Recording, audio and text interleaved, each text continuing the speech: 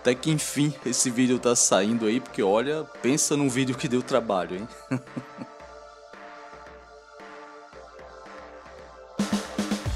ok, beleza guerreiros, eu sou William Ruff.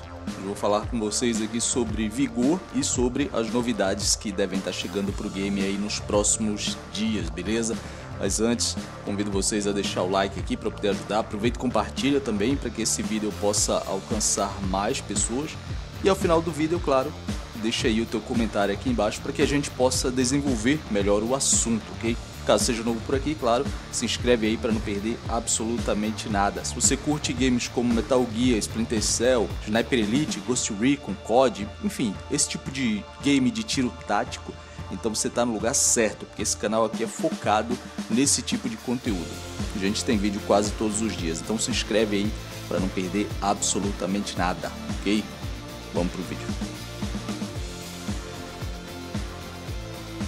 Então, senhores, esse vídeo aqui ele já era para ter sido postado aí desde a semana passada, na verdade, né? Mas aconteceram aí diversas coisas que acabaram meio que impossibilitando que ele tivesse saído, né? Por exemplo, eu tive problemas com a captação do áudio, tive problema com o editor de vídeo.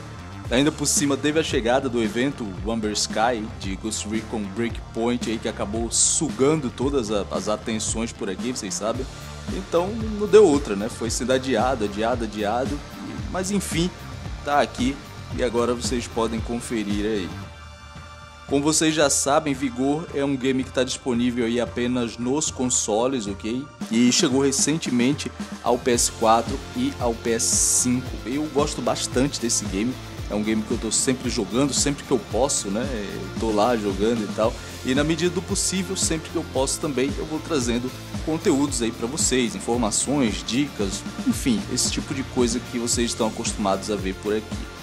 Para quem ainda não conhece o game, eu recomendo, inclusive peço que deem uma chance, né? Porque é um game muito interessante, realmente.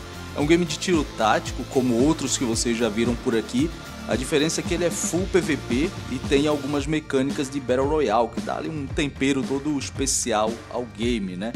O game ele é free to play, o que melhora bastante, né? Você não vai precisar gastar absolutamente nada com ele.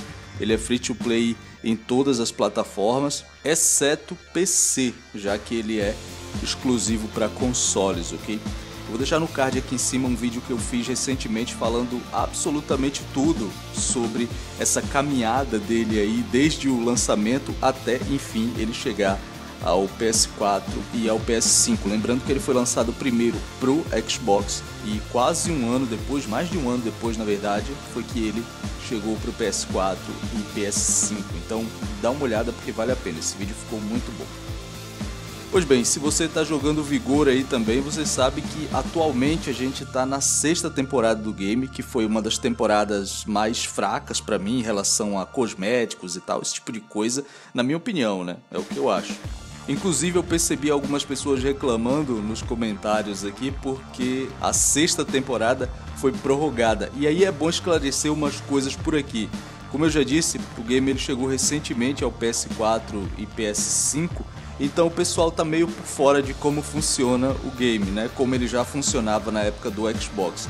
Mas eu já vinha acompanhando ele desde essa época, desde a época do Xbox, e eu posso dizer a vocês que tá tudo absolutamente normal. Esse negócio de estender o período da temporada aí já rolou em várias outras temporadas anteriores, ok? Então fica tranquilo porque tá tudo certo. A temporada 7 logo logo vai dar as caras por aí.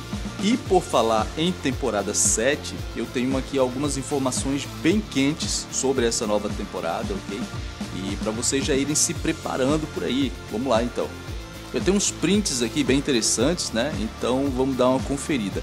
Aqui a gente já pode ver o nome da próxima temporada que vai ser Mercenários, ok? Já dá para ver alguns cosméticos aqui também. Tem essa skin bem maneira aqui com a camisa xadrez, com colete balístico. Tem também uma bolsa nova aí pra gente.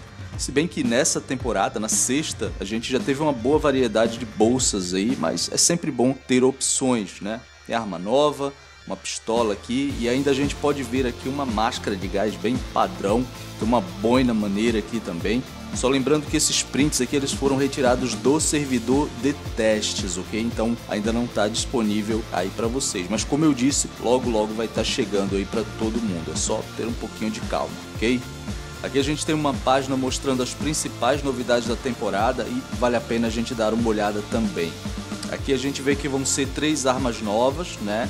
Uma pistola, a B93, tem aqui a M60E3, que é uma LMG, e tem o retorno aqui da Shotgun Lachiave, beleza?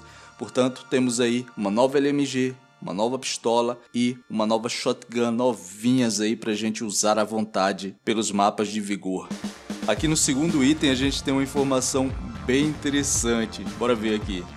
Campers, tomem cuidado. Novas medidas foram ativadas contra forasteiros imóveis. Isso aqui é bem interessante. Aqui está se referindo especificamente a um novo sistema que detecta quando o player fica imóvel por mais de dois minutos e aí vai e mete um morteiro na cabeça dele. Isso é muito bom. Aliás, isso vai melhorar bastante a dinâmica do game, porque a gente sabe que o que mais tem no Vigor é camper, né? Afinal de contas, a gente sabe que quem morre no mapa do Vigor perde todos os itens. Então, o cara ele vai lá, pega alguma coisa e automaticamente ele se esconde para poder não perder o que ele pegou, né? É aquele negócio meio DZ do The Division, né? Do primeiro The Division, né? Ficava todo mundo com medo de se expor e perder os itens que conseguiu, né? Então o cara ele quer ser extraído sem perder o que ele já conseguiu e aí o cara acaba se escondendo muito, camperando muito e tal. Com essa nova funcionalidade, isso vai diminuir. Acho que é uma excelente medida aí contra isso e já deve aliviar bastante essa questão aí, forçando os players a se movimentarem no mapa. Continuando aqui, a gente vê que as armas do modo tiroteio foram recriadas, provavelmente visando aí o, o, equilíbrio entre elas, né? E no final do texto aqui a gente pode ver agora que algumas saídas vão estar fechadas e vão precisar de alguns itens para poder serem abertas, né? Essa é uma funcionalidade que eu confesso que vai mudar bastante a dinâmica do game, porque agora não basta só lutear e correr para a saída, né? Agora a gente tem que torcer para que ela esteja aberta. Isso vai gerar muitas situações interessantes. Imagina, alguém pode aguardar por mais tempo numa saída, né? Ou pode segurar os itens para poder pegar um player que estiver chegando e, cara, vai melhorar bastante as situações de combate e a estratégia também. Lembrando que Vigor é um jogo muito tático, né? E esse tipo de situação vai gerar melhores condições para que esses combates ocorram. Claro que tem muito mais coisa chegando por aí nessa nova temporada. Aqui foi só um resumão das principais coisas que vão estar tá chegando aí, mas lógico que quando tiver tudo liberado para todo mundo, a gente vai dar uma olhada melhor em absolutamente tudo. E aí eu trago para vocês tudo completão, OK? Vamos aguardar para ver. Não esquece de se inscrever aí, você que está jogando Vigor, que começou a jogar Vigor, vai ter muito mais vídeos aqui sobre esse game que eu estou gostando bastante, certo?